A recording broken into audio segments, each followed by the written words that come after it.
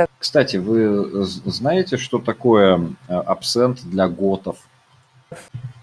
Вы не знаете, что такое э, э, этот самый абсент для готов? Нет, не в курсе.